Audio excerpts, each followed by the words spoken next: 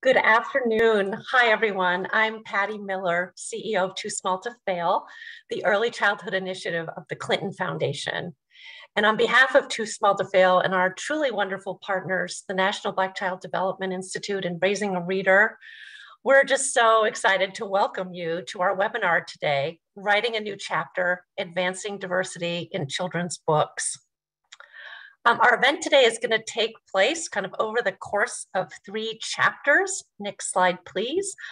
Um, and we're just so excited by this terrific lineup um, of speakers that we have assembled here for you today uh, to guide us through each of these chapters. Um, and before we get to it, um, each of our organizations, our hosting organizations, just wanted to provide very brief opening remarks about why we're here today and what brought us together to address this really important topic.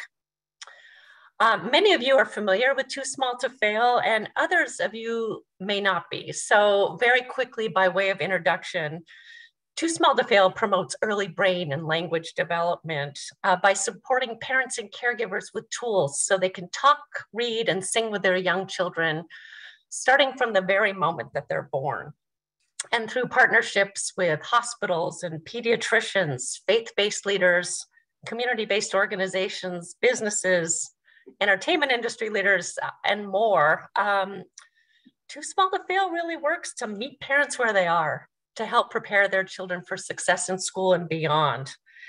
And we really focus on trying to make small moments big by creating opportunities for meaningful engagement and interaction anytime and anywhere, wherever parents and families and kids happen to be.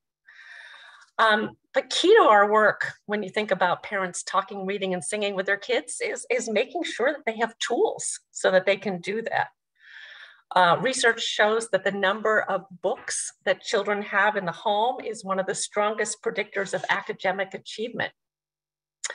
But what we know also from research is that many children don't have access to age appropriate books in their homes. Um, one study found that in lower income communities, there's an average of one book for every 300 children, compared to in middle income families, where the average is about 13 books in an individual home. Um, and these neighborhoods without significant, with significantly less access to books um, constitute book deserts, which can constrain children's opportunities to come to school ready to learn and ready to thrive. Um, but there's a pressing need not only to make sure kids have access to, to books, but also access to books that feature diversity. Um, and when we say diversity, we want to highlight the wonderful work of We Need Diverse Books. Um, and they recognize all diverse experiences, including but not limited to LGBT, LGBTQIA, Native, people of color, gender diversity, people with disabilities, and ethnic, cultural, and religious minorities. Um, we know that young children's experiences with books and characters that they portray um, can shape their attitudes and beliefs um, about themselves and about their place in the world. Um, these rep representations also provide children with a sense of belonging, as well as a greater awareness and respect for others' identities and experiences. Today, we're going to hear more about all of this, and we hope that this conversation is the first of many um, as NBCDI and Raising a Reader and Too Small to Fail together explore how we can continue to advance uh, this discussion and issue in the months ahead. We're really asking for your thoughts and input about how we do that and just welcome your feedback today throughout the, the webinar and beyond. So before we get going, I just want to take a moment to thank the Heising Simons Foundation, um, our wonderful thought partner and supporter that provided uh, support for this event and for the Too Small to Fail program.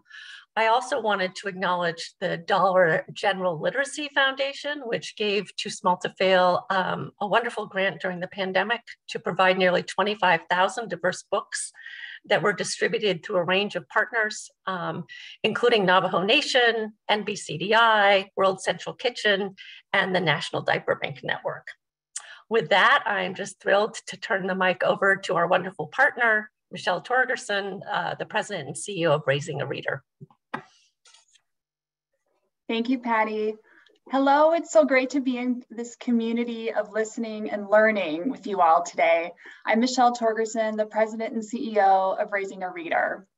We are so proud to co-host this event in partnership with Too Small to Fail and the National Black Child Development Institute and appreciate our panelists for their time today and thank all of you for attending. Raising a Reader partners with schools and community-based organizations to support families in building early literacy routines to foster brain development, healthy relationships, a love of reading, and the literacy skills critical for school success. Our geographic reach is broad, and I bet some of you may have heard of us. We serve more than 150,000 children from birth through age eight and their families annually in 36 states crisscrossing the United States, we have over 3,000 implementation sites that are implementing at least one of our three program models. Our Raising a Reader program sites include schools, libraries, childcare centers, as well as unexpected places such as parents' employers, housing developments, and food banks. And similar to our friends at Too Small to Fail, we too focus on meeting families where they're at. From day one, we knew the potential power of our book collection to serve as windows and mirrors for all children and families. And we now have over two decades of experience growing our understanding of how important books are to a greater sense of inclusion and belonging. Our one-of-a-kind multilingual book collection and curriculum puts equity, diversity, and belonging at the center, and it always has. We believe we can leverage our scale and reach and our book purchasing power to be part of pushing forward important conversations like this to ensure that all children and their families have access to diverse and inclusive books. Thank you for joining us today for the first of many conversations. This is a collective effort. And I am now so pleased to introduce our wonderful co-host, Jocelyn Sturdivant, the Senior Vice President of Institutional Advancement at the National Black Child Development Institute. Thank you so much, Michelle. Hello, everyone, and welcome. My name is Jocelyn Sturdivant, and as Michelle said, I am the Senior Vice President for Institutional Advancement at the National Black Child Development Institute, also known as NBCDI. Established in 1970, NBCDI is a national nonprofit organization whose mission is to improve and advance the quality of life for Black children and families through education and advocacy. Our Read to Succeed program is designed to promote early literacy and language development by supporting families in establishing home libraries with culturally relevant and developmentally appropriate children's books. We, along with our national affiliate network, are committed to putting books with characters that look like the children we serve into their hands homes, and hearts. We warmly invite you to learn more about NBCDI and our work. You will see links to our website and to our Read to Succeed program in the chat. And now I have the distinct honor of introducing our first speaker today, the wonderfully talented and dynamic Shabazz Larkin. Shabazz is an American artist, painter, writer, illustrator, bookmaker, and product designer. His practices of vandalizing photographs, overwhelming use of color, and bold typography veil Larkin's true intention to explore societal issues of race, justice, and religion. Shabazz is most known for his portraits that capture the beauty of resilience in Black culture. In 2019, Shabazz released his third book, The Thing About Bees, a love letter, which we will all have the pleasure of hearing him read today. Most recently, Shabazz and his wife, Ashley, have turned their attention to building a product design business, Larkin Art and Company, focused on producing artifacts that enrich the lives of people of color. Shabazz is also the father of two young sons. Shabazz, thank you so much for joining us today. To start, a, to start us off, we would like to set a vibrant tone for today's panel discussions by, as, by experiencing together what it's like to light up the life of a child with fantastic, diverse literature. In order to do so, Shabazz, we would first like to have you take half a minute to share with us a little bit about your background and what inspired you to write The Thing About Bees. Then we'd love to have you read The Thing About Bees to our audience. And when you finish, please introduce our first moderator, our, our moderator, Patty Wong, who will introduce our panel. Shabazz, I am now turning it over to you. Thank you. Uh, that was a that was a great introduction, um, and I, I appreciate being here um, with with all of my librarians and book people. Um, those are my favorite people. Uh, and I wrote this book, The Thing About Bees, um, really as a way to sort of connect with my sons who are sort of budding and growing. Um, and uh, but uh, you know a lot of the images that you see in this book are sort of sort of feel like something from uh, norman rockwell um, and that's because i just remember seeing norman rockwell pictures as a kid this very sort of like american sort of style it's, it seemed like the very american sort of illustration style um, but uh, uh, I, I, always, I always, I always felt like there was a, it was a world that wasn't mine. and so doing this book was really an opportunity, even in this sort of square classic storybook format was really to say, hey, let me paint some new people in, in this sort of classic American world. So um, so this is just me and my sons kind of frolicking around uh, Nashville, so that where I live. So without uh, with that, I, I'd love to just jump in it. So the book is called "The Thing About Bees: A Love Letter." this book is dedicated to my sons who teach me what it means to be fearless. And I start this book off with a little science. When a bee and a flower love each other very much, a fruit is born. the flower makes a yellow sticky dust called pollen. The bee, and as the bee drinks the flower's nectar, she gets pollen all over her body. The, me, the bee moves from one flower to another. Then we wait and wait and wait, and presto, the flower turns into a fruit that we can eat. And this is a process called pollination. With that, here's the thing about bees. Sometimes bees can be a bit rude. They fly in your face and prance on your food. They buzz in the bushes and buzz in your ear. They sneak up behind you and fill you with fear. And worst of all, they do this thing called sting.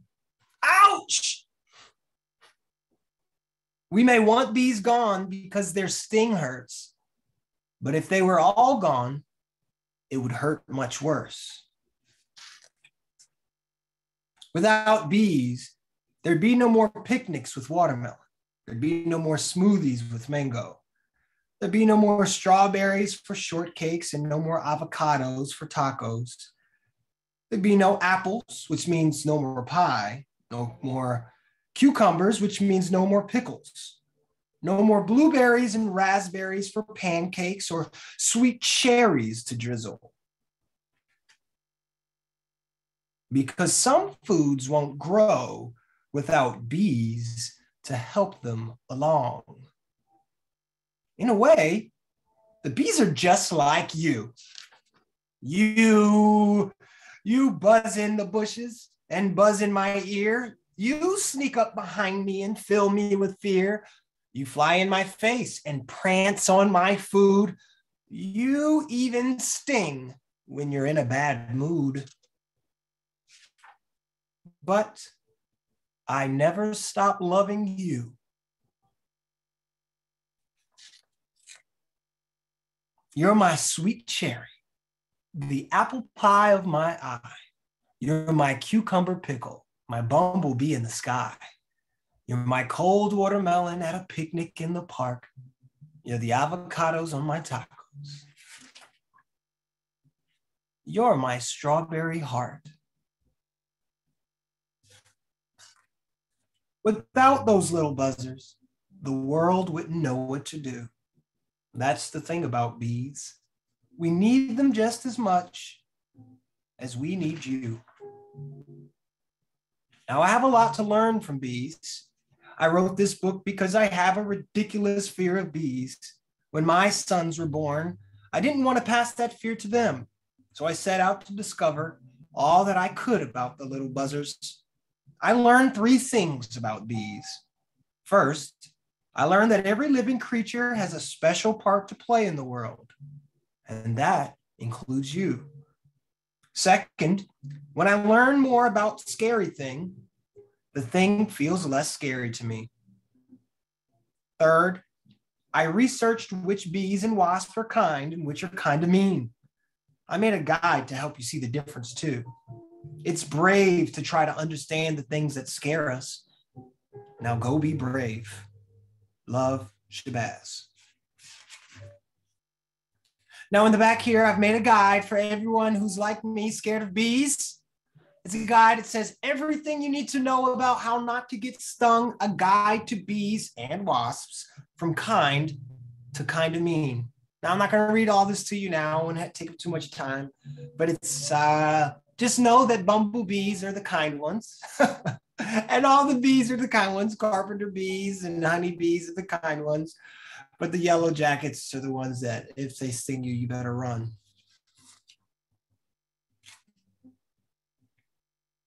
But seriously, we need to love the pollinators. Do all you can to save the bees, please. And if you're still afraid of bees, you can wear a beekeeper's suit because we're all beekeepers. On the back here of this book, I've inscribed this sort of mantra that says, Love will conquer fear. And that's the thing about bees.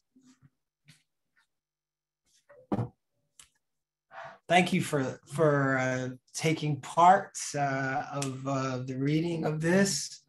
Um, but uh, our next guest uh, has a big job on her hands and is a real gift to speak to us today. She comes a long line of heroes uh, to authors like me and readers like you. She stands in the shoes of Dorothy B. Porter, the great decolonizer of the Dewey Decimal System of Arturo Alfonso Schomburg, the great founder of the Negro Society of Historical Research and collector of our books. Uh, Clara Stanton Jones, the first Black president of the American Library Association, Library Association, and now Patty Wong. She's received all kinds of awards from the 2012 ALA Equitable Award, Equity Award, the Distinguished Service Award in 2014. She was acknowledged as the member of the year in 2012 by the California Library Association. And my own publisher, Philip Lee, has a few personal stories of them working in the bookstore together in college. So she's got a legit history here, okay? After all this time, she's still acting as our champion of access uh, with the very difficult task to keep books accessible and increasingly library averse, book averse, reading averse society. She's working to connect the library to the community. And with that, please do a little dance for all, for, for the first Asian American to serve as president of the American Library Association, Patty Wong.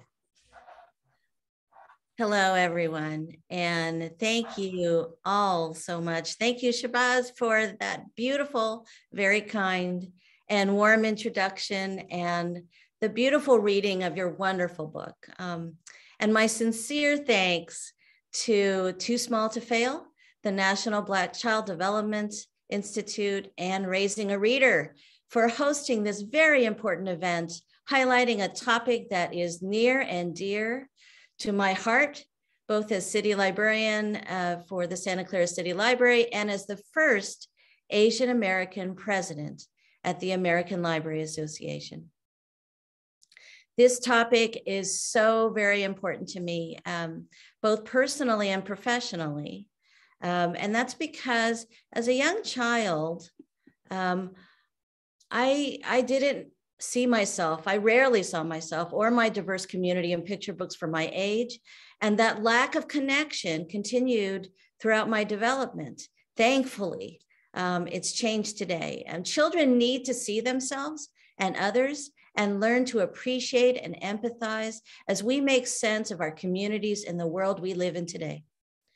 Dr. Rudine Sims Bishop shared that concept of the need for diversity in children's books as a responsibility, and that books can and do serve as mirrors to reflect positive and affirming support for children in their development and windows and sliding glass doors to enter that world. I am now delighted to kick off our first panel conversation, Chapter One Diversity in Children's Books Why It Matters. And we have three incredibly inspiring and esteemed panelists, including our own Shabazz Larkin. Thank you so much for staying on for this conversation, Shabazz. KT Horning, Director of the Cooperative Children's Book Center, University of Wisconsin Madison, welcome. And Dr. Iheoma um, Iruka, Professor of Public Policy and Founding Director of the Equity Research Action Coalition, University of North Carolina, Chapel Hill. I'd love to start uh, with you, KT, who I've been fortunate to know for so many years.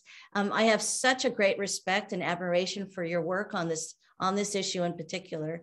Um, it would be great if you could kick off our panel conversation by providing an overview and a landscape of diversity in children's books today.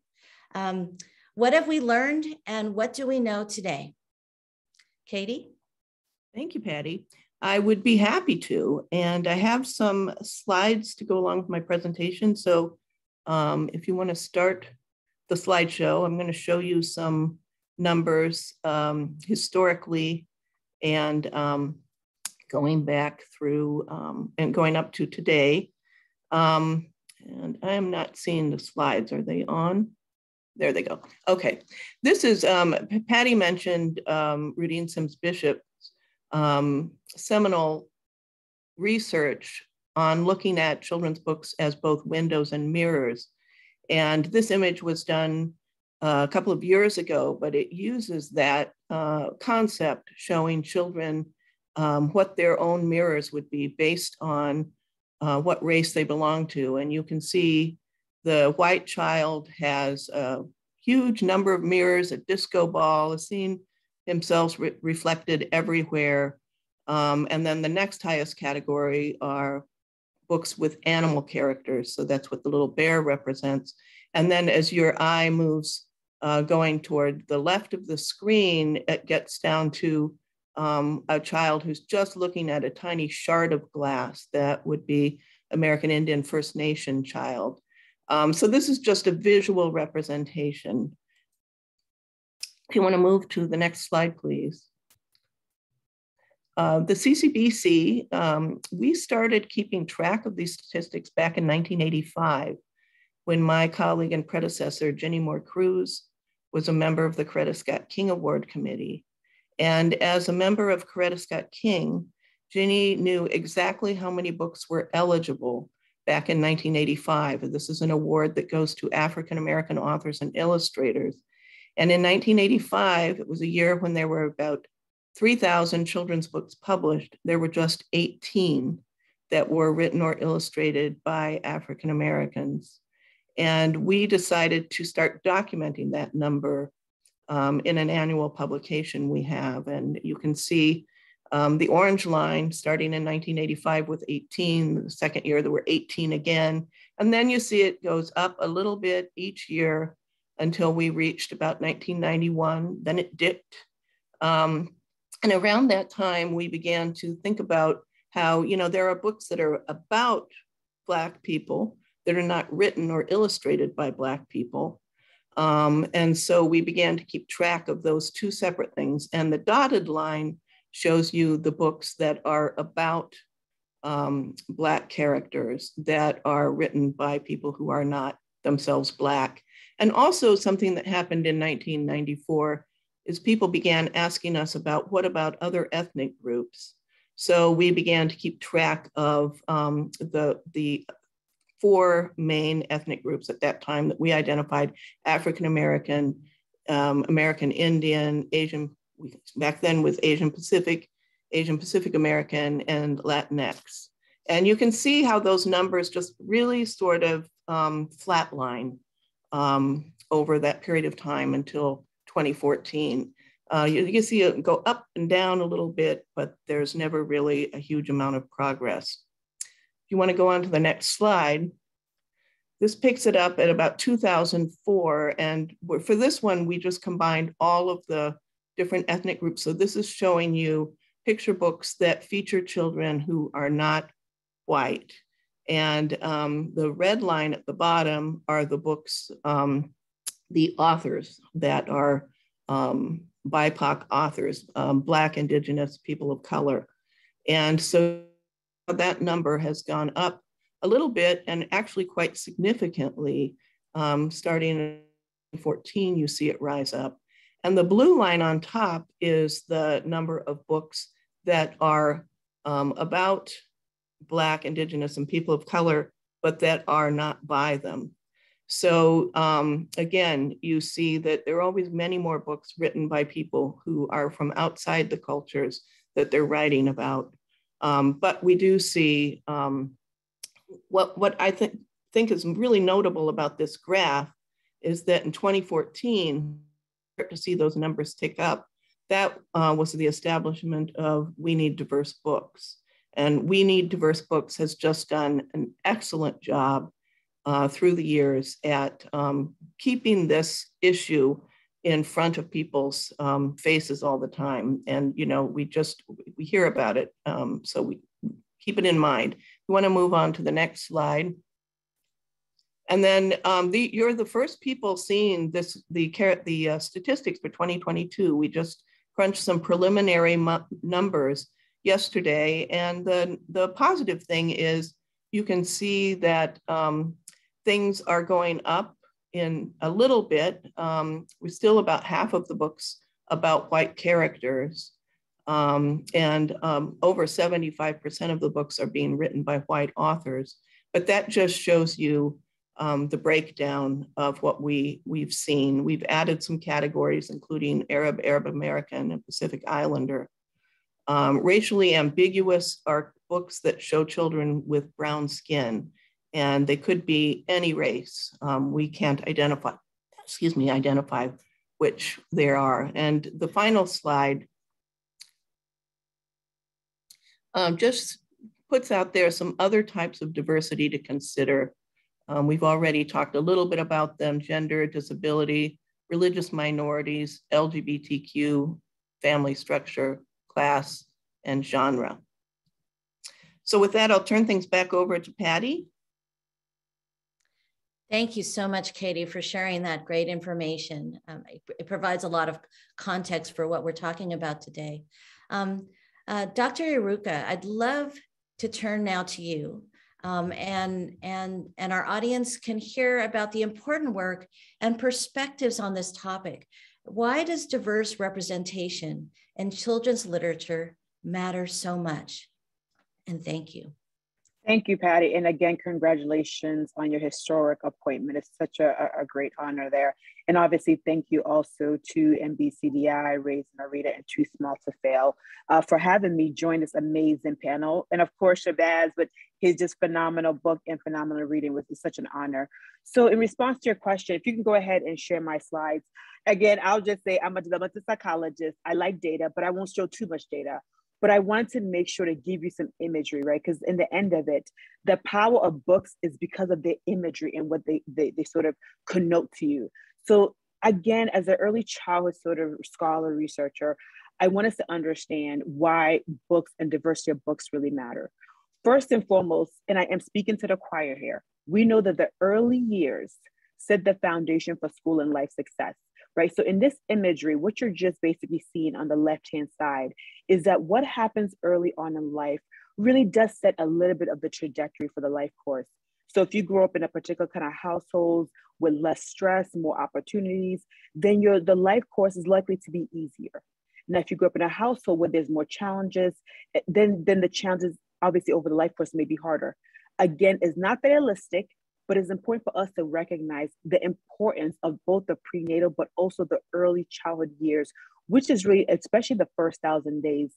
Um, and I'll show even more why the first thousand days and even the, the, the first 2000 days, which is that birth to three and especially the birth to five period that we sort of call the preschool years, we know is the sensitive periods of brain development right? And, and so again, if you look at this figure here, if you look at the lines, right? So you see a lot of the lines, the tip of them happens actually when kids are sort of that two to three, right? So think about it. This is when your language, is, the foundation for language is being set, conceptualization is being set, emotional control, hearing, vision, a lot of things are being set to prepare you really for school and life. And so if you see that line, that dark line, um, that five years old, you see a lot of things have already reached the tipping point, and now is really much where we're trying to consolidate and use that to, basically to learn, right? So it's that whole idea of learning to read and reading to learn, right? And so this is why it's really important that when we think about books, that we think about is so critically important, especially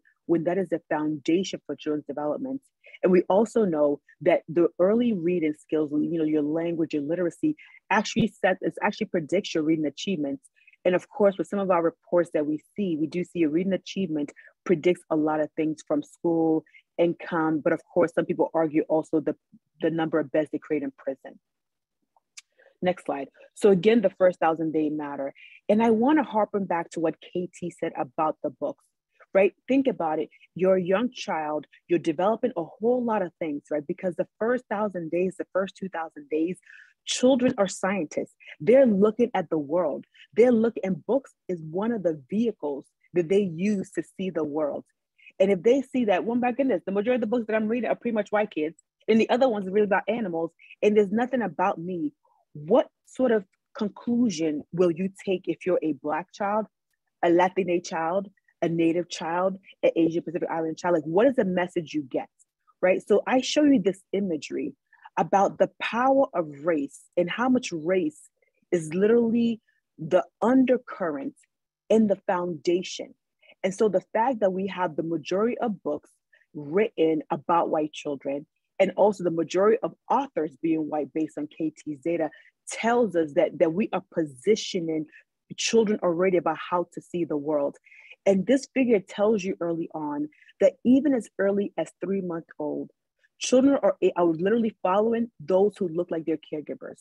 So if your caregiver is white, they're going to track you. And this is a study from, from um, England, right? By the time children are one or two years old, they're able to sort of uh, really think about people in terms of whether their the skin is whiter, like whiter shade, or you know browner shade, right? That's when kids begin to, to interpret certain things by 30 months, they're able to sort of use race categories like I'm black or brown, or you're not black or brown.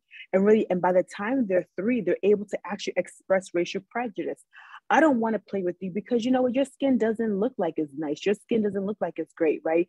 And by the age of four to five, they're making decisions play about behaviors like, oh, look, the black children are being kicked out, or oh, the children who look a little brown or lighter brown or don't know how to speak English, right?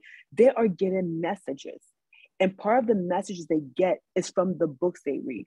And if they don't see themselves in the books, they're going to make decisions about how they fit into the world, right? This is the power of books and one that we cannot ignore. Next slide, please. And so to me, we have to think about books as a way to engage, explore, and empower children, right? This idea is that books are really the ways that we begin to get knowledge to also inquire. This is the same way for children. If you're an early child educator, early child professional, books are one of the ways that you shape children's sort of emotion regulation. How do you deal with trauma? How do you deal with loss of friends, right?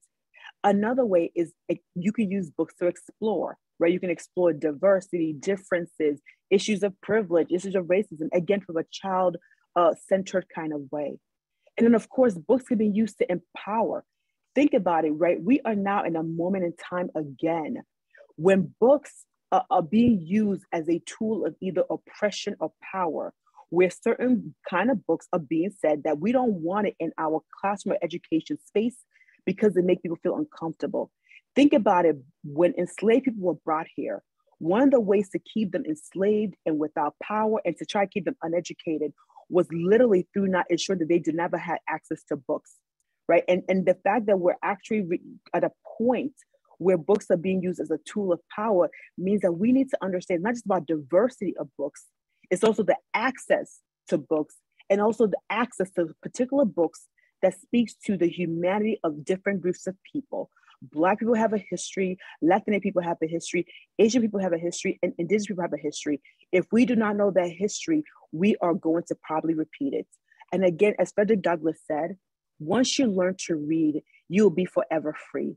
And if we're not reading about Jewish communities and the Holocaust, if we're not reading about the attempted eradication of natives or the enslavement of, of, Black people, Asian people, and other people of color, then we are going to be bound to, to, to repeat it. Books are the freedom. And for young children, our books need to set them free. So with that, I'll pass it back to you, Patty.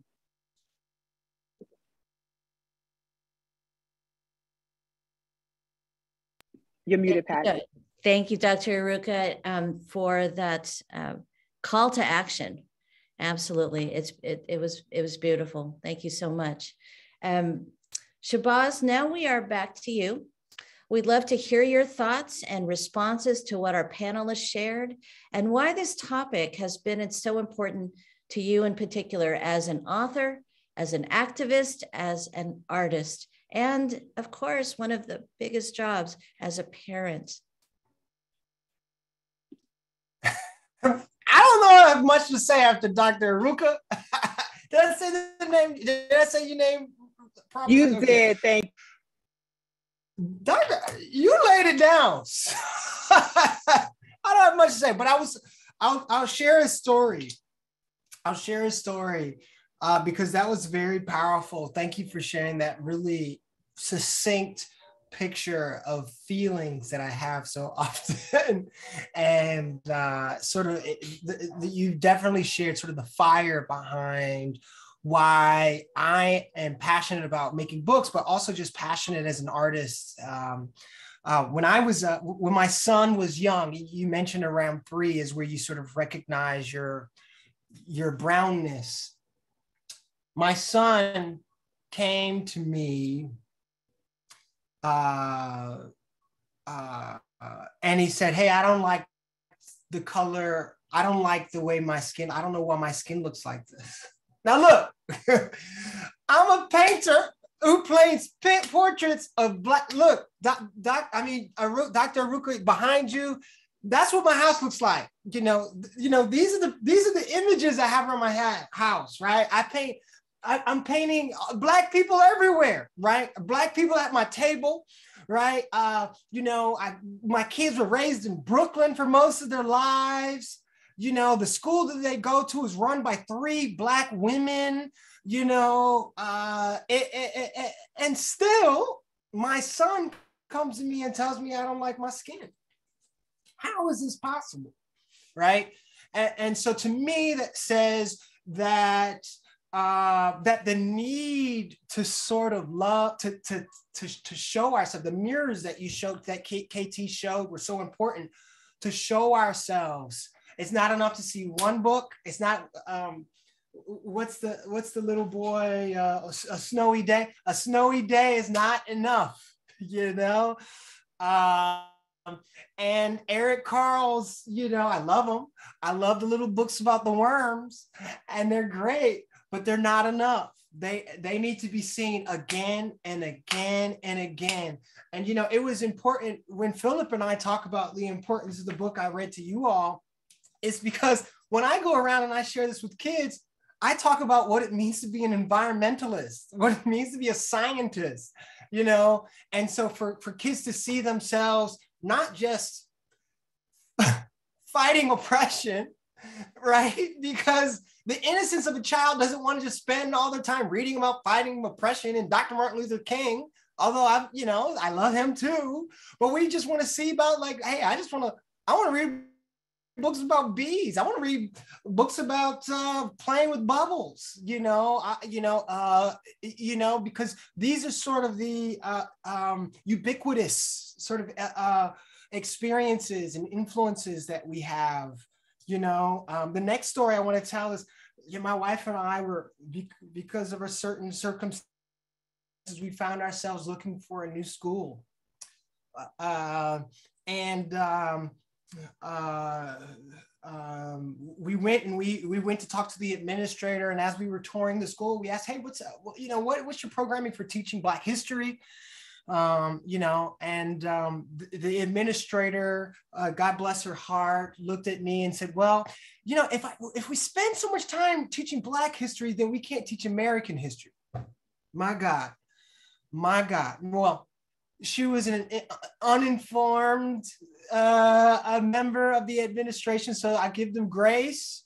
Uh, but so there is a responsibility to the child, right? But there's also a responsibility to our educators, right? Our teachers, our parents, even, right? These stories aren't just a need for kids, they're a need for me as an adult.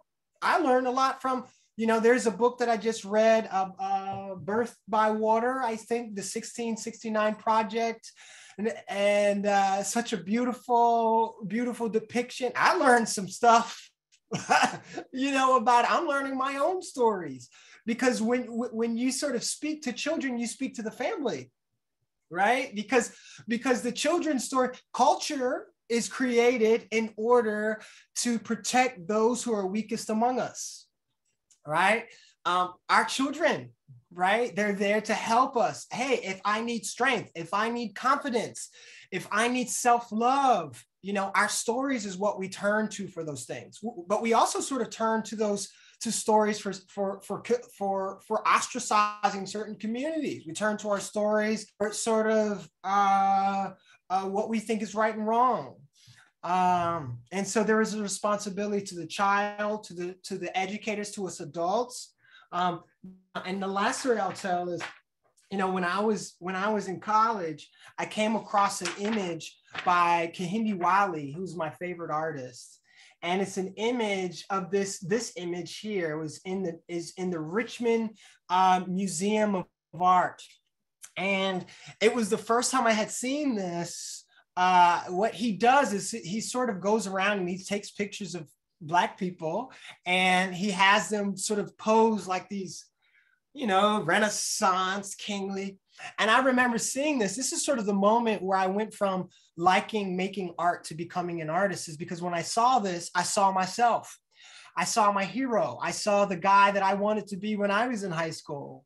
And instead of having this idea that this was a thug, that this was a drug dealer, and because this is what I grew up with, I mean, I went to a school with all Black people. And still, this image of Black people was imprinted in my soul that I wasn't allowed to even be who I was.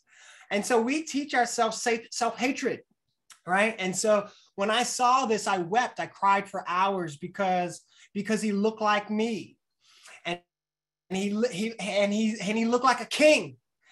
And um, and I I just uh, from that moment on is where I said, hey, I want to tell stories of Black people. I want to paint images of Black people. I want to tell us uh, because if I don't, who will? Uh, and and so um, and so the last thing I say is that we have a responsibility to ourselves to tell our stories you know um, to to understand to understand more if i don't if if we don't tell our own stories then who will so uh, I, I i i'm you know we're sort of committed to telling to telling these stories and um, more than you know beyond the civil rights stories which i love our civil rights stories but they can't be I, we don't want to live in that sort of sort of repeated trauma uh, every day. Uh, we want to just live our lives of uh, live our lives and and um, and and I think that the, the, the freedom from that comes from the stories that we tell. So I, to me, that's that's why it's important to um, uh, to tell these stories and, and bring about these um, books. I think I answered the question, but maybe not.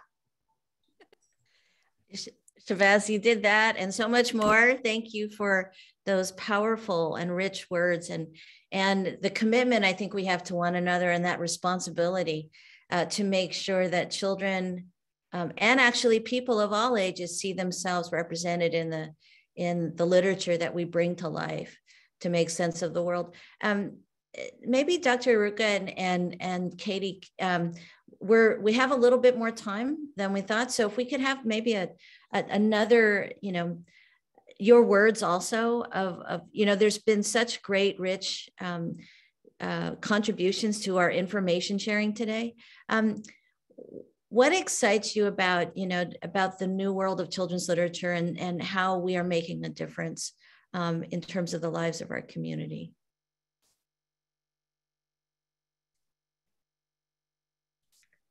I can jump in and say um, one of the things that excites me about the new world of children's literature is that really outstanding books by BIPOC authors and illustrators are getting recognition.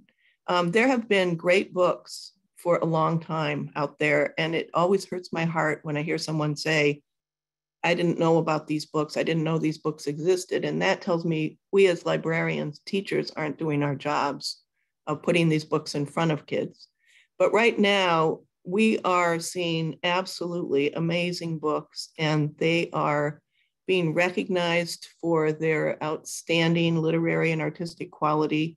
Um, the recent announcements of the Newbery and the Caldecott Awards, for example, for this year and last year, last year, an Indigenous author, or sorry, Indigenous illustrator won the Caldecott Award ever. And this year, um, also an Indigenous author was recognized by the Newbery Committee for the first time. So, and then the, the Newbery, the award winning books, I would say, of the last five to six years have really reflected the diversity, the outstanding books that um, reflect diversity that we see in our world. And that's actually very exciting for me as a, as a librarian and a lover of books. I'll just briefly add, um, and I thought KT said exactly what I was going to say, but I will also expand to say, and even to connect it to Shabazz's earlier point, that I'm loving sort of the new books that really speak to the diaspora, particularly of Black people, Indigenous people. Oftentimes, you're like, oh my goodness, talk about slavery. No, you know, you could talk about the richness of, of, Black people across many different parts of the continent, including the motherland. So being able to, to see authors crossing those boundaries and showing particularly Blackness in ways that's just natural and just part of humanity. That's one. The second thing I would say that's actually amazing is to now see books coming into the social justice, economic justice, racial justice realm, right? Books have been treated as kind of this passive, read a book and you're smart but to know that the Justice and Library Association is now actively engaged to understand that books and reading has has impact across the board over the years and has impact on people's well-being, their health, their economics. So, so I'm loving at least attention to the power of book reading, but also the power of authorship in many ways and the power of voices to bring humanity. So I'm excited in many ways, but also I'm also scared of it, right? Because the more voices of color uh, that come forward, the more that we're going to see pushback. But we need associations like the one that you're ahead of, Patty, to continue to speak to the power of all these voices being heard, even as policies are being created to stem that tide. Thank you so much, all of you. And my heartfelt thanks to our wonderful panelists for sharing your thoughts and perspectives with our audience. Uh, we look forward to having you back in a few minutes for a, a final question um, towards the end of our event. Don't worry, audience members. Um, it's not quite goodbye yet for KT, Dr. Iruka, and Shabazz.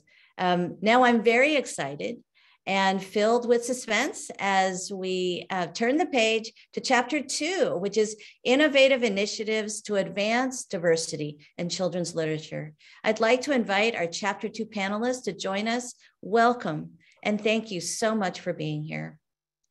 I'm thrilled to introduce our wonderful panelists, and they are Dhonielle Clayton, COO. We Need Diverse Books. Philip Lee, publisher Readers to Eaters. Cynthia Leitich Smith, author and curator, Heartdrum at HarperCollins Children's Books. And Kyle Zimmer, CEO and co-founder of First Book. Kyle, hello. Thanks again for being here. Great I'd love to, to be here. Thank you. Welcome. I'd love to start with you. Please sure. tell us about First Book and innovative efforts your organization has engaged in to promote diversity in children's literature, along with other innovations in this area that you'd like to share. And welcome. Thanks. It's it's an incredible honor to be here, and I really uh, the data that's been shared. It's I'm having a tough time keeping myself in my chair, uh, but I I know we you know time is tight and we want to uh, cover a lot of ground. And I thought I would start with a quick flyover of First Book for those of you who might not be familiar with us. We're a nonprofit social enterprise, and for all of our 30 years, we've really been dedicated to advancing educational equity for children in poverty. We've built the largest and fastest growing online network of formal and informal educators serving underserved kids ages 0 to 18. Our network currently numbers more than 525,000 educators, and thousands more are joining every month. And the importance of this online community that we've built is that we use the strength of this aggregated community. We really listen to what's going on in those classrooms, in those programs, through our research arm, which is called First Book Research and Insights. And so we constantly have active, engaged voices from preschools, from after schools, Title I classrooms, homeless shelters, libraries, and even barbershops. And then we take the voice of that first book community and we use it to inform everything we do, including all the books and resources that we make available through our e commerce site, which is called the First Book Marketplace. At present, we provide about 17 million books annually and diverse through the marketplace, and diverse books are a constant priority for the educators we serve. And so we we're very dedicated to using the market strength that we've built to elevate the market for diverse content. We push it through, we push the publishers, we push the prices down for our for our network and we constantly promote relevancy and diversity of content. And that means authors and illustrators as well. At present, it fluctuates, but at present, it runs about 50% of the books we provide are diverse content from one lens or another. And today, in addition to sort of the fundamentals of First Book, I want to share a new initiative that First Book has launched that absolutely has its roots in reading high quality, highly diverse books. And as we've already discussed, reading diverse books elevates an interest in reading, but it also increases self awareness. And importantly, it increases empathy for others. Just last week, we launched something called Time for Change. It's a program that turns that elevated empathy into action.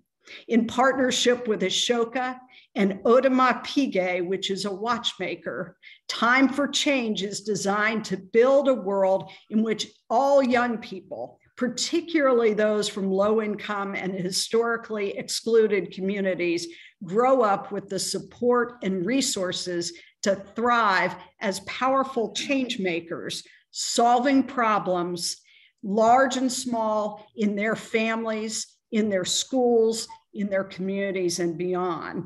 It's a world that will be more just and equitable because everyone will have power.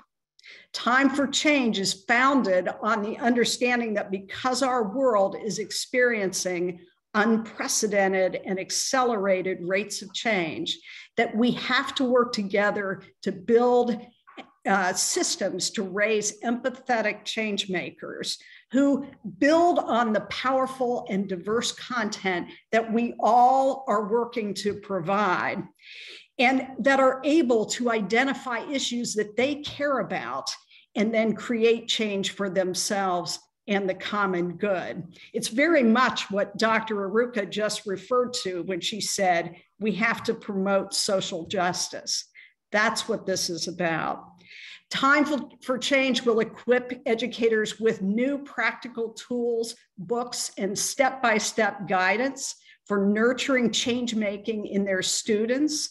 It will showcase stories of young change makers and their ideas for making positive changes in their lives. And we've just released our first resource, uh, which is available to download for free at fbmarketplace.org. Just click on the tab that says free resources, and it's right there. It's a guidebook uh, that is a resource that explains what change making is, why it's important. It helps to align change making with the common core. It outlines activities and discussion points and shares stories of young people who are change makers, young people of all uh, races and cultures and all ages. And in addition, the first book curation team, because our roots are always with books, has identified a wonderful set of new books about change makers, and it especially elevates change makers of different races, cultures, backgrounds, and ages, and it, it will share those stories uh, with our full network of, of our community. So it's all about activism, it's all about social justice, it's all about civic engagement. So I'm happy to answer questions either during the session or, or online afterwards, but uh, delighted to be part of the conversation. Thank you so much, Kyle, um, for sharing that rich, um, innovative, systems changing kind of work and, and creating stronger access to all of these materials and the call to action and activism that you bring with First Book. Um, congratulations on all that wonderful work. Um, and we look forward to hearing more about it later. Now I'd love to turn the floor over to my dear friend Philip Lee. Um, it's so great to be part of this event together. Um, Philip, tell us about Readers to Eaters, along with your perspectives on innovative ways that you and perhaps um, even other publishers um, are working to advance diversity in children's literature. And welcome. Always good to see you. Hey, um, hi, Patty. So good to see you and so good to see everybody here. And, and thank you for inviting me to be part of this great conversation. So like Patty says, I'm Philip Lee. I'm publisher of Readers to Eaters. So one thing I bring in as a publisher, as a and also as a small independent uh, publisher um, based in San Francisco, is that I like to think that we come in with a different perspective, talking about race and culture and diversity. You know, and as a publisher, we think about two things, you know, um, more than two things, but let's say we think in terms of the content, the kind of books that we want to produce, but we also think about distribution. How do we get books into the hands of readers? And I, and I just want to make sure that we'll get to talk a little bit about that in my talk, but also like later on in our, in our panel conversation, because I think it's so important. So, you know, we, uh, our company's called Readers to Eaters, we focus on culture you know, and culture about food. So I just want to quickly give a little shout out this week or today, or uh, because it's Chinese New Year, and I brought you some a little. I brought a little show and tell. This is my favorite childhood food. It's a Chinese barbecue pork bun that I just picked up from Chinatown earlier, and um, and it's my favorite childhood food because it was a, it's a food that I connected. I grew up in Hong Kong, and I came here to, to the US when I was a teenager. And it's meaningful to me. Not, of course, it's my favorite food, not because it's good for me, you know, it's not because it's healthy. And I can't even say it's the most tastiest thing I like, but it, I connect with this food because it was the reward given to me by my family when I did well in school or when we have celebrations because as a kid they're so easy to just hold up a bun and you break up and there's barbecue pork inside it's delicious it's easy to eat. And so i still think back as a reward. So every time after a presentation like today I'll, i like to have a pork bun and, and, and pat myself on the shoulder. But that's what in, in this case, I like to think in terms of why food is important because it's not about um, it's it's not just about uh, nutrition and and and health, but it's also about culture and human connection. You know, and and this is how we go about talking about food, diversity, and culture. You know, and so um, so we start Readers to Eaters, and um, now actually this year, this spring would be will mark will mark our 10th anniversary of publishing books um, this this year. And at first, people think about us thinking like, why do we publish books about food? Isn't that very limiting? But in fact, it's it's on the reverse. Food to us is is foundational to the human experience, and it connects us to us all. We can all always we talk we tell stories about food. Our you know food is our vehicle, but our lens is people you know so we're always looking at at culture through this lens of food and through food of yes again it's about health and nutrition but through food we can use it to talk about human history talk about social justice talk about climate issues and just all these different ways. And and in a, in a scale that very young children to high school kids can connect with to feel they can empower to connect with you know. And so and also food, again, and the vocabulary of food is really fundamental to building, again, vocabulary, but therefore understanding of other cultures. So we present to very young kids the five flavors, sour, sweet, bitter, salty, umami. But, but by using these things, you don't just understand about, uh, about food, but you understand other culture. Because again, I'm Chinese and I grew up eating bitter melons and that bitter is not an awful thing to me. But how many stories we hear about kids you know, get alienated at the school cafeteria during lunchtime because they eat food that is unfamiliar to other cultures. But and so by knowing these flavors, by understanding flavors, you're actually understanding other cultures.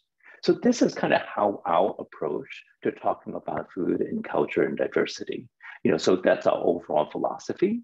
And very quickly, in terms of editorial, you know, in terms of the kind of books we publish, I'm just so pleased that Shabazz um, join us today and, and read the thing about bees. And because, you know, of course, it's a wonderful book, but it really kind of typifies uh, the kind of stories that we want to talk about in terms of diversity. First, it is a it is a universal human story. It's a story about fatherhood and overcoming fear. You know, and it is also a story about current issues, current affairs, about climate change and climate action. You know, and you know, 30 is also about, of course, a story about an African American family celebrating Black joy, all through the lens of food. You know, and so that's what we try to do. And through this lens of food, again, like it tells a lot of things that people can connect with and often miss it because we publish books, we you know talk, have a lot of conversation now about climate issues, and often that is not a very diverse conversation you know, and the people who's in the climate conversation are also not very diverse. But by having books like this, it suddenly adds, you know, uh, a lot to the to the conversation. Another example, you know, of the books we do, I mean, just gonna pick one other book, like a book that we published a few years ago, you know, called Chef Roy Choi and the Street Food Remix. And um, co-written by Jacqueline Briggs Martin and actually my wife June Jo Lee.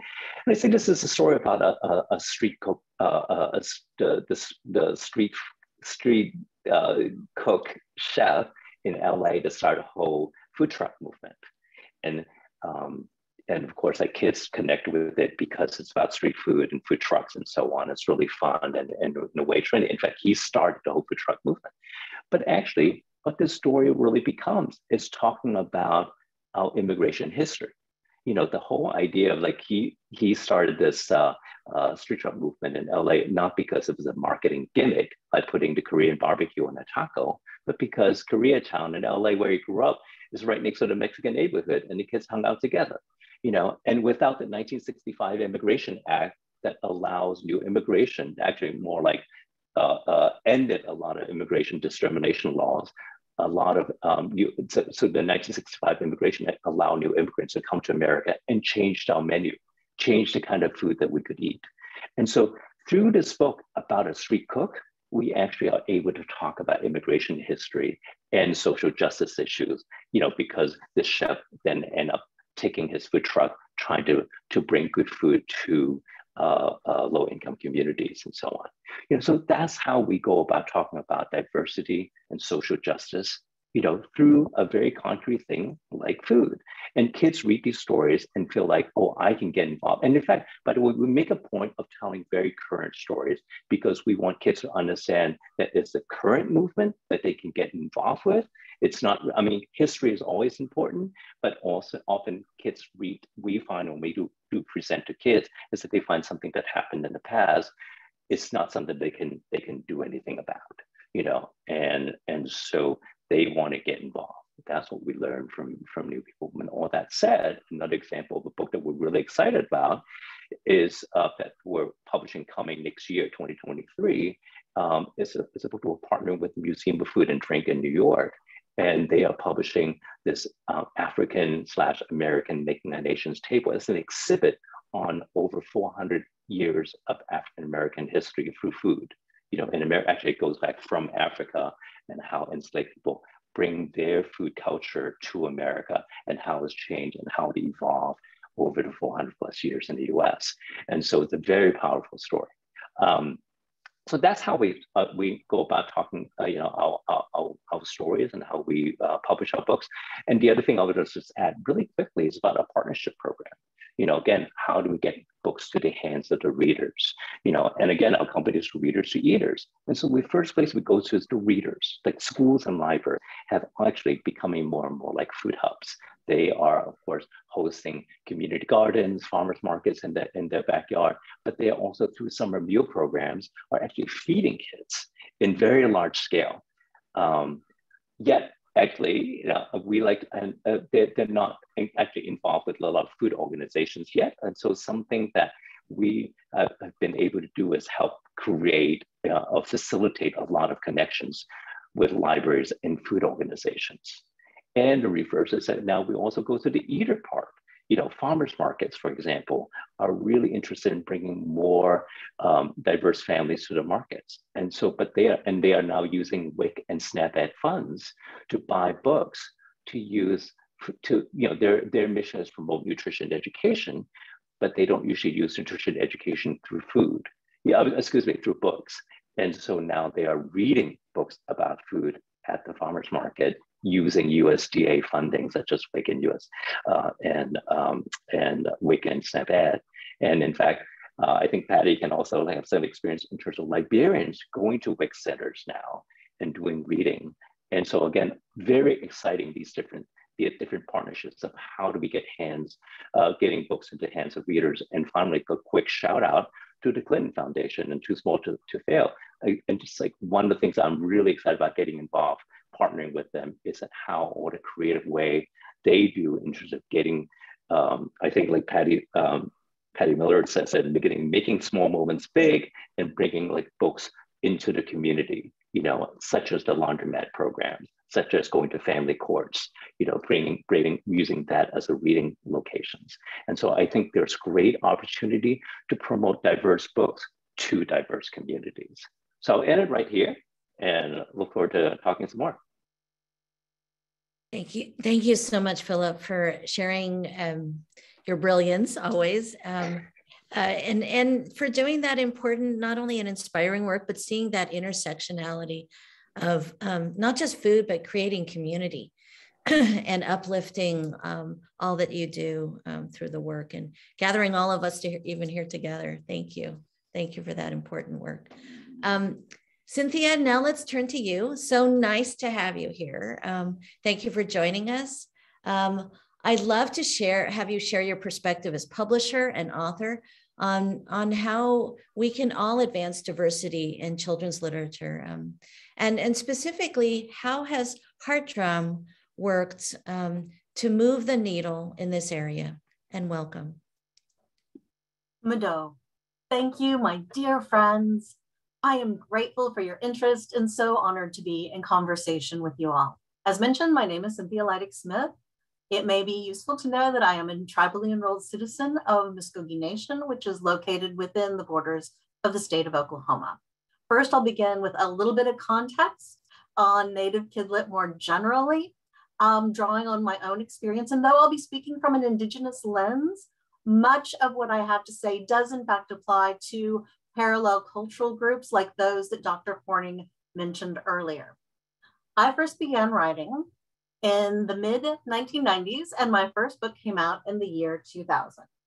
It is called Jingle Dancer, and it was considered noteworthy at the time because it was contemporary, because it featured a middle class native neighborhood, because it included an Afro Indigenous or Black Indian character in the cast, and because one of the main characters was a Native woman who was also an attorney.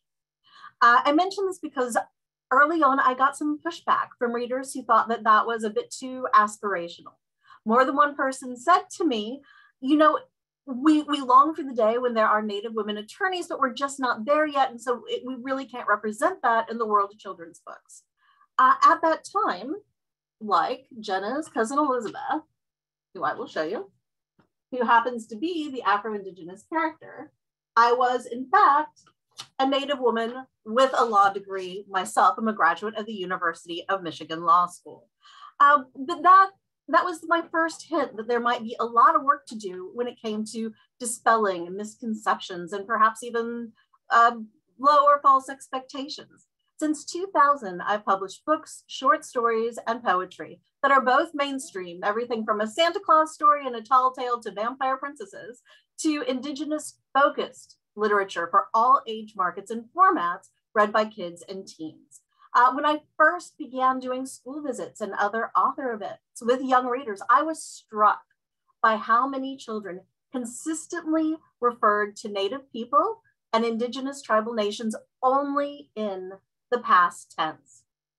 So my writing and that of many of my Indigenous writing peers emphasizes that we have a past, yes, that continues to inform us, a present, which is vital, but also a future. It's inclusive of daily life narratives.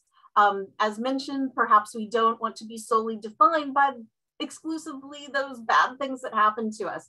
Daily life narratives like this book, Indian Shoes, which is about the adventures of a young boy and his grandpa in the city of Chicago.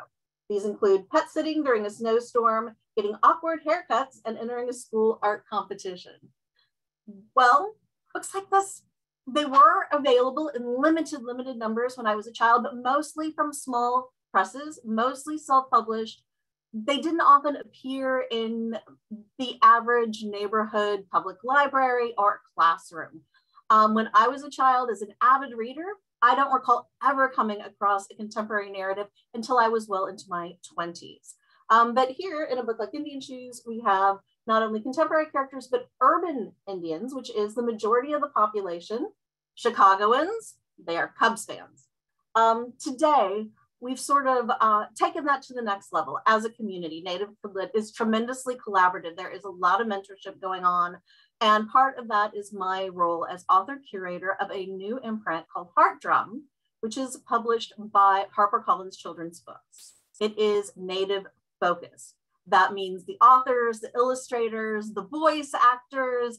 Um, it's really a comprehensive effort to add more narratives that center contemporary Native kids as heroes of their own stories and books that welcome every child into the storytelling circle. They're published in cooperation with We Need Diverse Books, which is a nonprofit organization mentioned earlier that's dedicated to improving diversity on the page, behind the bylines, and throughout the industry. Our first Heartdrum list debuted in 2021, and we are publishing books for all age groups of young readers from picture books through young adult novels. Again, our emphasis is contemporary to send the message that Indigenous people and tribal nations are still here. We make every effort to center young Native heroes in our books. We're mindful that there's a lot of intersectional diversity within Indian country. It is by no means a monolith, not only from tribe to tribe, but also within each. Now, for those of us who haven't perhaps been reading a lot of Native children's books lately, um, what does that look like in practice? A few examples.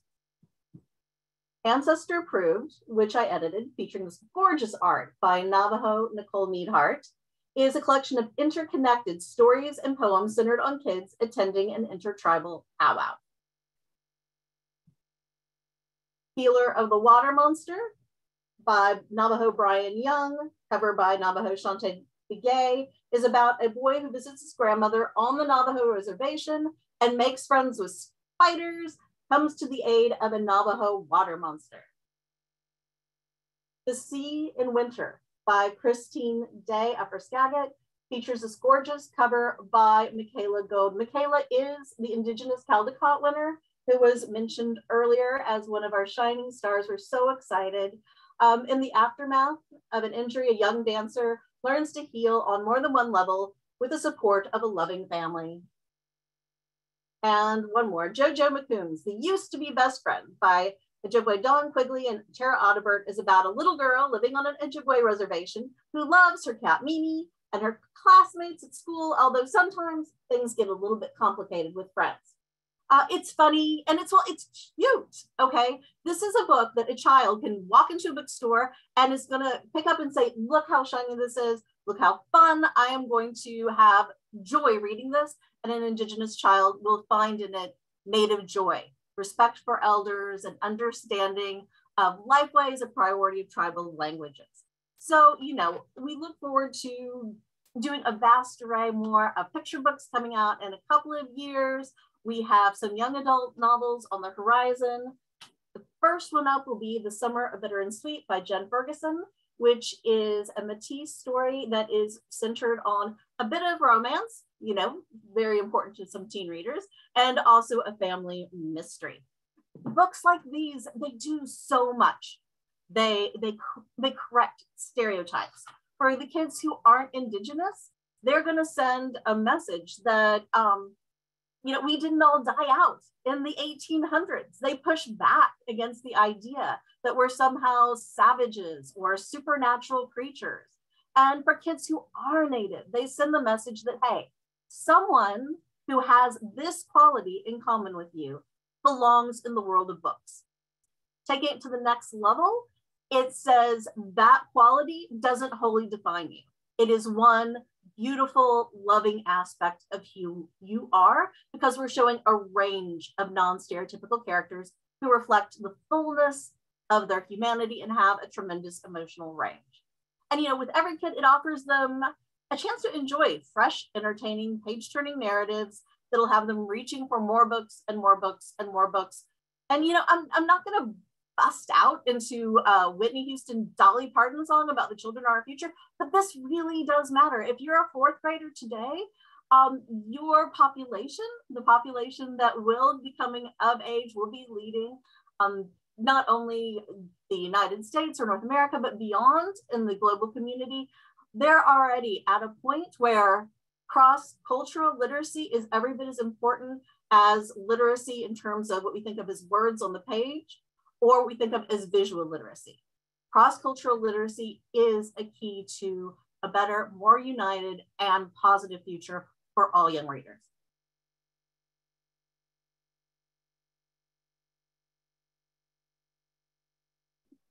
Thank you so much, Cynthia. That was amazing, amazing. And uh, not only a, a strong call to action for all of us, but I think one of the things we value so much is, in, is all of the work that you've done, both as author and curator. Um, it's just so inspiring. Thank you for your creativity, your leadership, um, your continuing publishing, and um, and and creating a, a, better world for all of our children um, and our communities.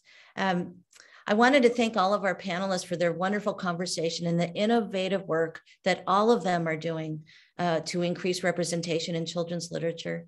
Um, we're going to adjust a little bit and um, uh, right now go um, to chapter three. Um, so I want to thank everyone uh, for, for being thoughtful and, and wonderful today. Um, I'd like to invite um, the first panel uh, members from chapter one to join our chapter two panel members. and we are going to the final chapter of our event, um, a call to action, our magic wand wishes.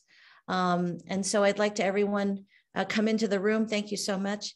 There are two questions that we have for you today. Um, we have heard from all of you on the current landscape of diversity in children's literature. What we know is that there's been wonderful work done to advance representation. We have a long way to go and much more work needed to be done.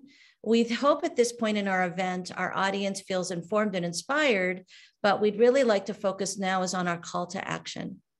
Um, what are the actions that we can take, whether as parents or caregivers, educators, community leaders, a librarian, a provider? What can we do to keep building on the momentum? With this in mind, um, I have two questions to share for you. The first one is a, a, question that did come from the audience, and I think it's a very important one that faces us today. Uh, with um, in light of all of the current increased book banning that is um, that is going on, especially around um, our communities of color and um, um our, our books that involve um, diversity. Um, how can practitioners and professionals, uh, what can we do about that to confront the book banning? And I know that we uh, may go a little bit over our time, but I'd like for you to all address that. And if you could be brief, that would be great. So who would like to start? Well, I'm happy to start because I actually have to hop off because I got to go do a parent teacher conference. Okay. Um, at top of the hour. I'll just I'll just briefly say that to me we should be actively engaged, right? Because they may be coming after quote unquote adolescent or youth books, but who to say who is to say whether they come after books for young children who just talk about eating watermelon or who talk about uh, a lot of the books that talk about a lot of our civil rights leader in really child uh, uh faith in the child affirming ways. So to me, I think what we can do is to make sure that we are active, even if it's writing to our senators, whether it's even writing to our teachers and saying, we love these books. Please make sure that these books stay with us. So I think you just have to be at least use whatever mechanisms you have, whether it's your social media feed, whether it's your word of mouth, whether it's your job, and also buy the books, particularly books by about and by people of color, but also books about people of color. So the more we buy mm-hmm. those books, the more we show our money matters. Thank you, Dr. Iruka. Anyone else want to chime in on that one? I'll, I'll jump in quickly and just say, I think I, I, I you, you're spot on, Dr. Iruka. I think uh, number one, it's about uh, collective action. You know, it's amazing. Uh, some of these stories about the book banning it's like two parents who you know lit up a school board meeting. And uh, you know and I'll, I'll confess i haven't gone to a school board meeting. It's time it's time we went to we all have to do this. You have we have to be visible at the school board level at the school level and we have to be just as vocal and just as adamant as the people who are lighting up these issues. And the second one again uh, seconding uh, dr iruka's statement uh, it's about the benjamins you know?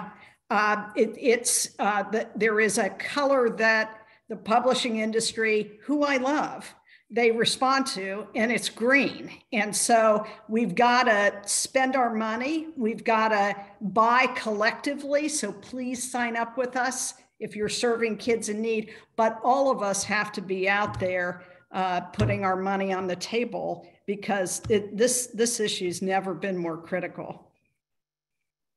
Thank you so much, Kyle. Anyone else want to share? I'll chime in briefly. Cynthia, please. I've been working with teachers and librarians for over 20 years. They know the kids, they love them. They are so deeply invested in making the right choices for the students that they care for and raise up every day. We need to trust in their expertise. We need to we need to pay them well. There should never be a time when a teacher is dipping into their personal funds to try and staff a classroom library. We need to really get behind the reading and literacy professionals who have been doing this work for a long time, who know what works and what doesn't, who understand what our age relevant text is, and give them all the love and support we've got on every front. Thank you, Cynthia. And if I, I would, it, oh, go ahead. I would, sorry, I would add um, not only going to school board meetings, but you can also um, go to your library, public library board meetings. So that's where a lot of the uh, censorship attempts are also happening. And writing letters to um, the editor of your newspaper, um, writing letters to your local city council, uh, to your local school board, just letting your uh, opinions be known because the people who are engaged in these bannings, they are very loud. And sometimes they are just a few people. And uh, something uh, an attorney once told us when we were facing an issue with a, a group called Parents Against Bad Books in Schools uh, was it just two parents making a lot of noise. And um, with all due respect to Shabazz, he said, never swat at a bee. um, but I do think this is a, a national um, issue right now. Um, these things are happening on a local level, but there does seem to be some sort of underlying national organization to it um, or lists being exchanged or whatever. And I also would like to think about what is it that the people who are behind this are so afraid of? Um, they seem to be afraid of talking about race, of talking about history, about talking about sexuality. And um, I think sometimes it can help to have a conversation with someone who is that afraid of living in our current world. Um, but it, it just, uh, it really, it really amazes me how frightened people seem to be of difference. I mean, we're talking about diversity. This is a subject that frightens a lot of people. And I don't understand that fright. I would like to be able to understand it so I can understand um, where all of this is coming from. Thank you all. Um, I'd like to move on to our additional question and, um, and thank you all for that perspective. You've helped us out a lot. I would be remiss if I didn't mention the American Library Association and the Office for Intellectual Freedom, and also supporting your school librarians. They, they are a big part of um, the support that we need to advance our work in diversity in children's books. Um, so let's talk about that, that chapter three, which is which, what your magic wand wish for children's books. Um, if you could please describe concrete actions you believe might be necessary um, to accomplish those wishes. And so we've got about maybe a minute per person. And if I could start with Dr. Iruka, because I know you have to leave. So if you could share with us your magic wand wish for children's books and concrete ways um, to achieve those, those wishes. You know, as a mother of two young children, you know what I want? I want books. I have a lot, but I'll just keep it simple. I want books that literally show the array and diversity of blackness like from the black skin to what black people do just to just show that unapologetically i just want uh, those kind of books out and available and i ever want books that show different ways of speaking right so there are different african american english sort of uh, uh, language that kids speak and it'd be great if the books also capture those kind of languages and show that that's just as good as, say, Spanish and Hmong and other kinds of language systems. So I would love to see those books. And then my own final wish is that I would love to see books that, that really does have that racial diversity but also shows the uniqueness of each person in their positionality. And to do that, that means that we have to make sure that we are starting early to tell particularly Black children and also other uh, minoritized children that their words matter, that what stories they have to tell matters, and give them the opportunity to both tell their story and also be able to visually represent their story and also allow them to publish, right? Not just have to, you know, independently publish, but provide the platform, the access, and also make sure they get paid equitably to their white author. So that's my only wish that I have. What great wishes. Um, Phil, can we go to you next? Amy? Um, so I, my key word, I've listened to all this, like so, it's so wonderful. I feel so inspired. Um, is is show up. You know, actually, like the thing that you were talking. I'm going back to the last question, but it's like we need to be everywhere, and everywhere with conceivably hostile uh, you know environment as in like school board meetings you know like it's like but we need to be there to to listen you know but we also need to show up at our partners. Again there's all kinds of partners you can work with and they don't know that we can be uh, that, that there's even opportunities to, again, bring books about BIPOC experience, about diverse experience into the hands of readers. But the other thing that even going, so that's like finding new ways for us to connect, but even existing way for us to connect. I'm just thinking about as a publisher, it's very frustrating to me to go into bookstores and says, oh, you publish these diverse books. So it goes to the multicultural column, you know, and it's like, these books need to be every part of a bookstore or libraries, but it's like, oh, it just, or, or that I find that I have to choose, is it, do I market this book? you know, because I look at Shabazz's book, it's brilliant, but does it has to go to the multicultural shelf or does go to an environmental climate shelf? Or actually, like we, we reviewed his books under, I mean, you know, uh, under cookbooks before. And, and it's like, you know, where do these books go? And we need to have new ways um, to look at where we bring books to the readers. Again, for existing places as well as new places. Thank you so much, Philip. Um, Cynthia, would you like to go next? Your magic sure. wand wish? My one wish is that um, we have a world of books in which any kid can see heroes that reflect key aspects of them and see themselves as members of the community of books that they will say this is a place i'm welcome this is a place that i belong uh, couple quick practical ideas for that. Um, I'd love to see outreach at urban Indian health centers like the one in Portland, American Indian Center like the one in Chicago, uh, the Haskell uh, Art Market in Lawrence, Kansas. That would be a great venue. I personally, as an author, try to make a point to do a lot of events in juvenile detention centers. And I've had some of my most resonant and thoughtful conversations with young readers in that particular venue, and every one of them should have an excellent library that is inclusive and equitable. Thank you so much. Um, Shabazz, would you like to go next? I would, thank you. You, you, you know, I, I think if I had a magic wand, um, I would help to open the eyes to all the storytellers. You know, I think that the thing is, we think, oh, there's no Black storytellers. So, how can I tell the Black stories, right? How can I tell the Native and Indigenous stories, right? Uh, but it, unfortunately, you know, I, I, get people in my inbox all the time. Hey, I got a book. I got a book. How do I? I saw you have a book. How do I do a book? They're there. We're here. You know, why is it all the Black, Indigenous, and people of color produce their books, sort of self-publish their things? You know, you know, I, I think I'm, I'm grateful for publishers like Philip who, who sort of found my found me on a blog somewhere and asked me to do a book. But you know, uh, but but most people don't have that opportunity. So I, I represent sort of the one percent of my community, the one percent of the people that sort of hey, somebody decided to uh, take a bet on a book.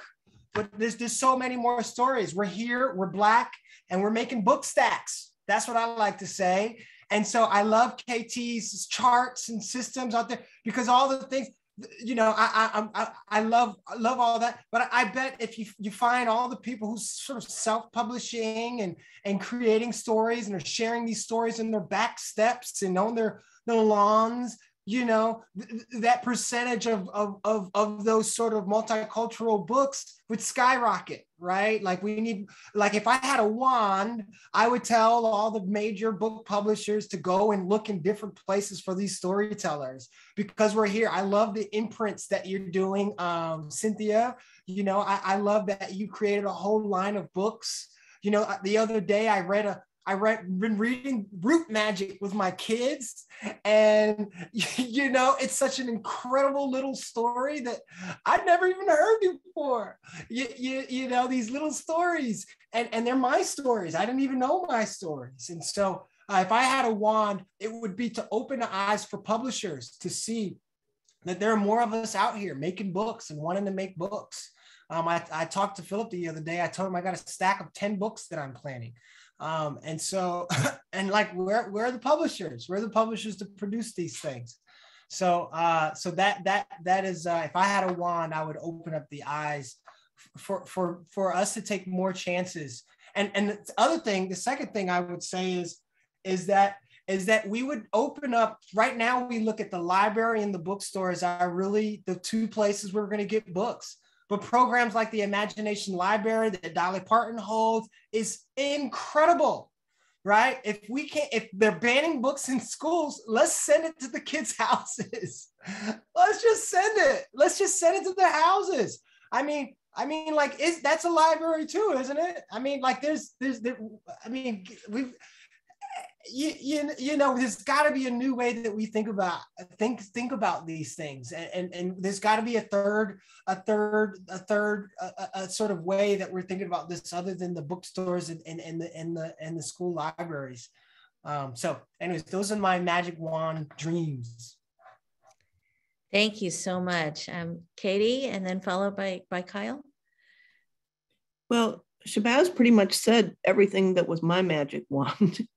um, and had some great ideas too. Um, I'm gonna I'm gonna have I'm gonna open up a really big magic wand that I don't have any concrete steps for, and that is to break down economic barriers, because there are so many economic barriers to getting books to kids from the producing the books, like Shabazz was talking about, um, to distributing them, to getting kids the books, and I do believe, um, as um, uh, was said earlier that buying books is really important. Um, I often quote the poet Alexis de Bow, who says, buying a book is a political act. And I just encourage people, when you do buy a book, to think about that. Think about what your money is saying with the books you buy. And um, I personally make it a point to buy as many books by and about people of color, particularly by people of color, uh, Black, Indigenous, people of color as I possibly can, um, because I think of those words frequently. If there is a way to get through the economic barriers for children, um, I would love to have thoughts about that. And Kyle, thank you, KT. Um, KT. You don't mind, I'm going to jump in real I'm sorry. Yeah, oh, go ahead, Philip. Oh, I just want to just quickly second like KT because you know I just want to say books are social justice. That it's not the content, but access to books itself is already is, is addressing social justice. And again, with the food organizations that I work with so much, food. I mean, we want to make clear books and reading is as important as food you know, and that's why I'm so happy to see that a lot of food organizations is getting involved in distributing distributing books, uh, distributing books. And and again, I want to thank you, Kyle, like for we've been working with First Books for a long time, and with the older partners that you work with is really important because those are really new places to get books into the hands of readers. Mm-hmm. Well, thanks, Philip we love Lee and Low. You know that we, uh, uh, KT, you and I should talk because that's the economic barrier to book ownership is what we've spent 30 years on, uh, and and I'd love to, you know, to explain it to you. And and if I had a, you know, the truth is, as I hear all of these great ideas, I think that uh, fundamentally, we don't need a magic wand. What we need is collective action. That's what we need. And we all know it. And I know why it doesn't happen because we've all got that like death grip on our own steering wheels, you know, and we don't, and that bandwidth to be able to reach out, you know, a, a, across organizations and build something together that is what is going to crack this these issues open that's what's going to do it uh, and and that's why, and and maybe I will, you know, make this the big pitch back to Patty. That's why gatherings like this are so critically important because uh, we learn about wonderful things that each of us are doing. Uh, and, and now the follow up is, you know, if we don't follow up, all it is is an intellectual exercise, a wonderful one. Uh, and, and I've loved hearing everybody's perspectives, but we got to roll our sleeves up, you guys. We got to roll our sleeves up and get about the, the action. Thank you so much, everyone. And you are absolutely right, Kyle. What a great way to, to end that magic wand theme by a call to action and not just a call, but we need to put it into motion. Um, this has really been an incredible, insightful, and inspiring event. Um, so, my sincere thanks to all of our panelists and to our amazing audience for joining us today. Um, to close our event, I'd like to now invite um, Cynthia to share a few passages from one of your books. Tell us why you chose those pieces of writing. Um, and please, please welcome Cynthia to the stage. Thank you, Cynthia. Thank you. Uh, I'll be closing with a reading from this book, Sisters of the Never Sea. Um, it's my most recent middle grade novel published by Heartdrum. It's an indigenous retelling of J.M. Barrie's Peter Pan centered on the girl characters, Lily and Wendy, who are contemporary stepsisters living in the Tulsa suburbs with their shared little brother, Michael. Uh, the book was very well received, for which I am deeply grateful, but perhaps one of my favorite comments was from a well-experienced native teacher who said, at last, here's a Peter Pan story I feel good about sharing with my students and also my grandchildren. Um, at the point in the story, Peter and Belle have spirited away Wendy and Michael to Neverland. Moments later, Lily, who is scientifically inclined, afraid of heights, and of course, a member of Muscogee Nation, much like me, is flying with Peter's shadow over a vast emerald sea to bring her siblings home. If only Lily had known the stars were watching over her. If only she had known they were cheering her on. The shadow didn't offer any reassurances. It had slicked into darkness, disappeared. Lily could still sense it though. She flinched at the inky feel of its fingertips. The farther they soared from her suburban home, the more eerie the shadow seemed. Was it the chill or the fear that made her shudder? Was it the shock that magic is real? Lily peeked between her fingers, pulling her anxiety into a ball at the pit of her stomach. She used it to power through a wall of gray clouds. She tried, failed, couldn't shut down her overtaxed mind. If anything, it kicked into highest gear. What if she fell, drowned, was stung by a jellyfish? What was happening was terrifying in so many ways. Yet buoyed by fairy dust, Lily managed not to spiral into despair. Yes, she struggled with panic, but hope blazed inside her. To stay afloat, to stay alive, she had to embrace wonderful, lovely thoughts. Jingles, Michael, moccasins, mama, buttered popcorn, Wendy blue dumplings, John Science Book's daddy fishing, Auntie Lillian, Christmas, Spot, Papa George, ribbon skirts, Lily herself. Wasn't she being heroic? Who would have guessed she could be so wait, what was that enormous loud noise? Oh, not to worry. It was a jet plane, only a jet plane. Lily felt the briny wind lift her again. Wonderful, lovely. Michael, she thought, his messy mop of brown hair, the way he bounced when he was excited. Wonderful, lovely, Wendy, her dimpled smile, not just stepsister, best friend. Lily trembled, her teeth chattering. She breathed in and out, slow and deep. Again, that's Sisters of the Never Sea with cover by Floyd Cooper, a Muscogee and Black illustrator and one of the legends of our field.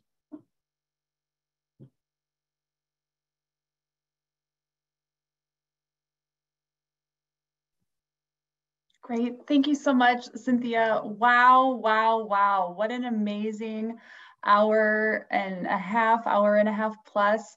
On behalf of my fellow co-hosts from Too Small to Fail and the National Black Child Development Institute, thank you all for joining us today. This has been beyond inspiring. Thank you, Patty Wong, for your expert facilitation skills. And thank you, KT, Shabazz, Dr. Iruka, Kyle, Philip, and Cynthia for being here as well and for your enriching contributions to the conversation today. This was incredible we can't do this work without all of our attendees here today. It will take the collective cross-sector collaboration to move this work forward. And as Kyle said, let's get to it. We've got work to do. We have a couple of housekeeping things that we wanted to share. Your feedback is valuable. If you could spend a couple of minutes completing the survey that's attached, um, there's a QR code here on your screen, and we will also follow up with a survey as well after this um, session that will include a recording of um, our time here together today and some of the resources that were mentioned. We want to stay in touch um, and we look forward to future conversations and future action. And as our speakers shared, there's ways that you can get started today um, to take action towards this important issue. Be on the lookout. Early Learning Nation is writing an article um, outlining the important takeaways from our conversation here today. And again, thank you for being here. What a wonderful way to spend the morning together. Have a wonderful day.